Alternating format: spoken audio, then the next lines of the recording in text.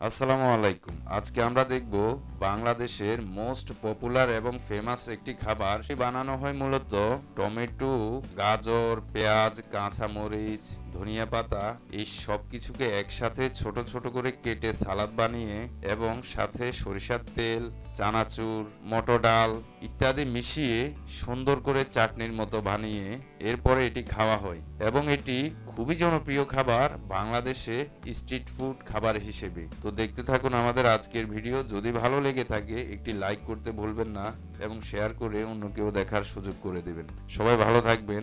আল্লাহ হাফেজ।